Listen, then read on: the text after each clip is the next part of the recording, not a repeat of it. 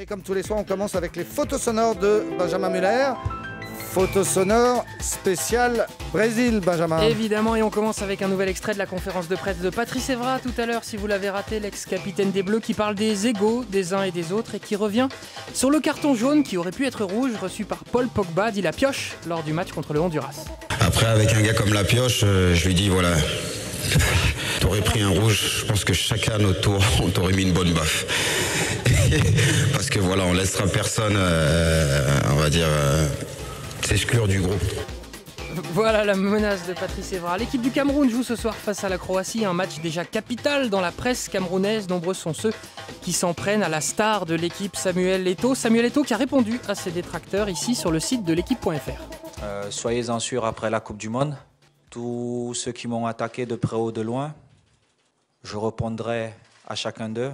Je donnerai les noms de tous ceux qui sont derrière certaines histoires et pour que les Camerounais comprennent qui aime et qui n'aime pas réellement ce pays. Et après, je prendrai ma décision personnelle. Voilà les menaces de Samuel Eto'o. Hier, les Belges ont difficilement battu les Algériens 2 buts 1 au terme d'un match poussif des Diables Rouges. Alors, les Belges moyens, c'est grave, docteur. Écoutez la star de l'équipe, Eden Hazard, qui dédramatise.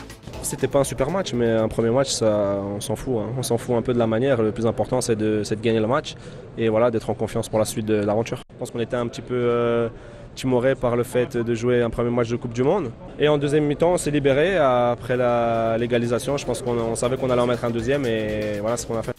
Allez, J-2, J-2 avant le grand match entre la France et la Suisse et on va se plonger justement dans le folklore suisse. Tout le monde se souvient des talents d'oracle de Paul Le Poulpe il y a 4 ans qui prédisait les bons résultats des matchs. Vous allez maintenant faire la connaissance de Madame Shiva qui lui succède, un cochon d'Inde suisse, suissesse donc, qui aurait, nous dit-on, les mêmes talents. Elle est filmée par Suissed et c'est le sélectionneur suisse, l'ex-sélectionneur suisse Gilbert Gress qui commente.